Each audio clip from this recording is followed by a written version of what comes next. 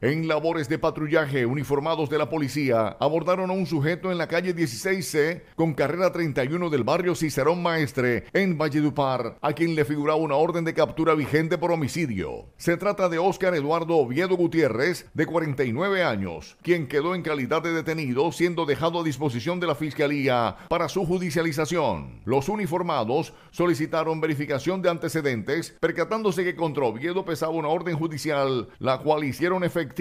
en Valledupar, las autoridades han intensificado los operativos y labores de inteligencia para contrarrestar a los delincuentes, pidiendo a la comunidad colaborar con información o denuncias para combatir a quienes actúan o se encuentran al margen de la ley.